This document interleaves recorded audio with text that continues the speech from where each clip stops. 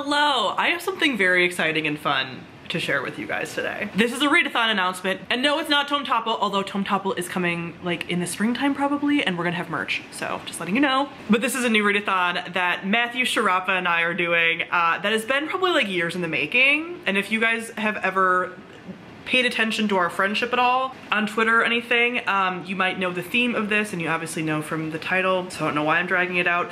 I'm here to announce a Shiftathon. Now I know this isn't necessarily groundbreaking, but this is something that Matthew and I have decided that we finally need to do because Matthew and I have bonded over our love of kind of trashy urban fantasy novels. He and I both uh, I don't know if he grew up with them as much as I did, but we both really loved the Anita Blake series by Laurel K. Hamilton, which is an urban fantasy series I've talked about a lot on my channel over the years, but I haven't read since starting my channel. Uh, they're just so firmly planted in my head um, from the years that I read them and reread them. I've mentioned before, but while all of you are reading Harry Potter, or well, most people, I know not all of you are doing it, but while a lot of people were doing that and rereading it over and over, I was rereading these books over and over. So him and I have been saying for years that we should do like a read along or whatever we decided to do a readathon uh, so that people don't get just pigeonholed into only Anita Blake, but I've been meaning to read more urban fantasy because it's candy to me. Urban fantasy is my trash, uh, and there's plenty of good stuff too, but like there's certain tropes, like the genre has its problems, and I just want to enjoy it. So this readathon, it's all camp. We're leaning into the ridiculousness of this and we're also making it super fun. So we have some prompts. It's a week-long readathon. I don't know if we're gonna do reading sprints because it's just him and I and personally I kind of like hate running reading sprints. I'm fine participating in them. Um, but if you know me from Tome Topple, I don't like running reading sprints um, and I just want to like enjoy and have fun. Um, so we have a couple things. We have the Shiftathon Twitter, which if we do run reading sprints, they will be on there. It will probably be Matthew running them, but maybe maybe I will run them too. I just don't want to make any promises. We have all of the like the camp over there and we have like the prompts and stuff and any kind of announcements about the readathon will be posted over there. We're starting this readathon, this is Matthew's idea, on the full moon on February 16th and it's going for a week, seven days. And we have five prompts, so you can choose to do all the prompts or you cannot. It's totally up to you. You can read all books from the same series if you want to. Like there's no rules besides it just need to be like an urban fantasy or even like a paranormal romance. Like so much urban fantasy and paranormal romance like bleeds together. So any of those, urban fantasy, they, they count, okay? Have fun. Mass market paperbacks all over. So our first prompt is a book featuring shifters other than werewolves this is very popular. Like none of these prompts are gonna be limiting you a ton. Uh, this is, th th you can find plenty of those. Oh, and all of the books you read only count for one prompt because we only have five prompts.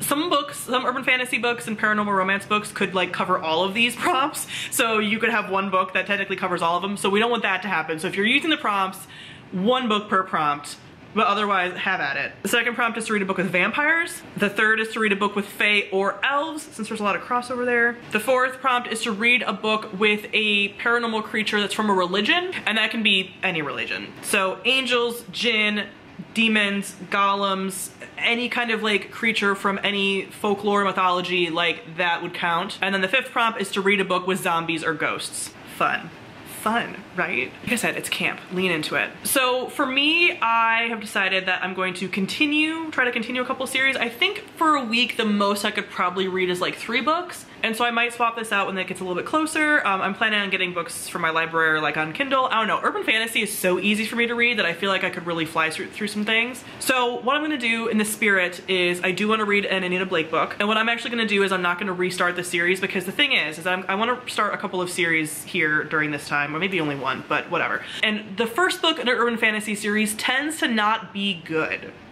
So I don't want to just like read a bunch of first books in urban fantasy series because then I'll probably get in a book slump and be angry. So I think I'm gonna read the fifth book I want to say in the Anita Blake series because I've read them all so many times that I don't need to start at the beginning. And I feel like this is when it starts to get fun. If you're reading it for the first time, I recommend you start from the beginning. Don't do this just because I'm doing it. I've just read them so many times that I can do this. Oh no, I actually think I'm gonna read the fourth book, which is Lunatic Cafe, I think.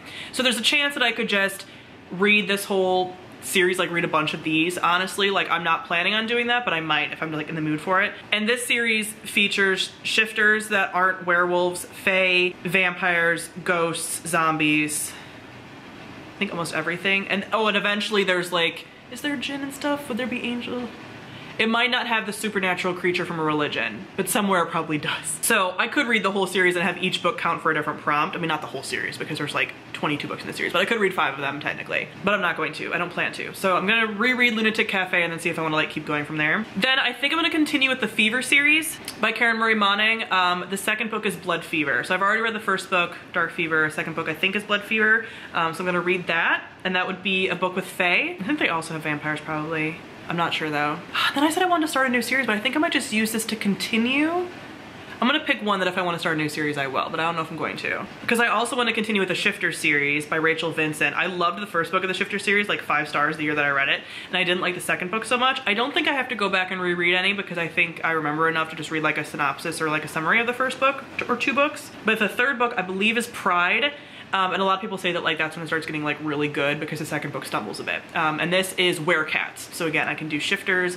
Um, I don't know if there's, is there vampires and stuff? I'm not sure. I'm not sure, I forget. But yeah, I can see myself continuing with that. So, okay, so that's three series. Like, so could I read four books in a week? Ooh, that's rough. I don't know. The nice thing about urban fantasy books though is they tend to be kind of short. I don't know, three I think is like maybe my limit though. That's what I'm gonna for sure do. And then if I want to start a new urban fantasy series. I might start Kate Daniels. That's the one that I was thinking of doing. I might start Kate Daniels. Part of me also is considering like a Dresden Files or something, but I think I want to do Kate Daniels. Um, so if I start a series, I think I'm gonna start Kate Daniels. But also feel free to recommend me some in the comments. Um, I, I, tend to like most urban fantasies. I like shifters. I like vampires a lot. Um, yes, but I want them to be all kind of like slightly different the way that all the series I'm continuing kind of are. Um, although a lot of them have like the same tropes and the same problems. Let me tell you, problems. It's camp. It's camp, but I will be talking about the problems in these series when I do wrap them up. And I will also probably be doing a vlog. Let me know if you guys want to see a vlog in um, February for this readathon because there's going to be reactions. But yeah, that's my TBR. Those are the prompts. Starting on the 16th on the full moon, lovely. Um, follow us on Twitter just for like updates, prompt stuff, um, when we do future rounds, because we're probably gonna do more of this, um, any of that, if we do do some like reading sprints and stuff. Comment below, let me know if you'll be participating. Thank you all for watching, and I'll see all of you guys soon. Bye.